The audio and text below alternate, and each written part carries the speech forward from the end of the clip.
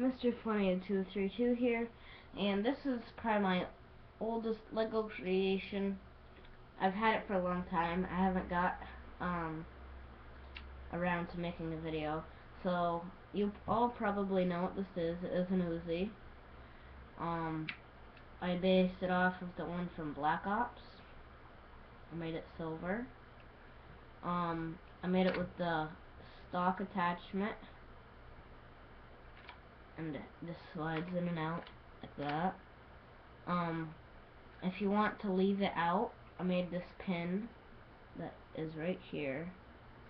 You take it out. Looks just like this. That's a regular pin. And then you put it in whatever hole you want. So if you want it to be as big as it can go, you stick it in the hole closest to there and it won't push in. See, you can't push it in. And then you can just adjust it, putting it in each hole and so on. And if you want it in it all the way, put it back in that hole right here where it's out of the way. Um, here are the sights.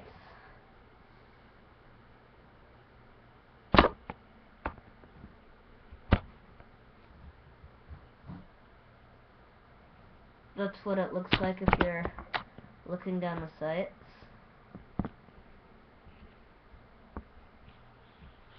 Um, it's got the mag, which isn't that long. I just put that in there. Um, workable trigger, it has a rubber band, so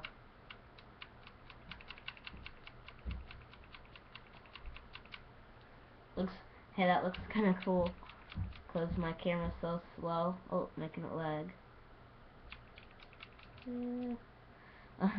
but here's like the foregrip. Um, that's pretty much it. I just made this. And click on what one you want to see. That is the SR-71 Blackbird, and this is the F-14 Phantom. So click on what one you want to see right now.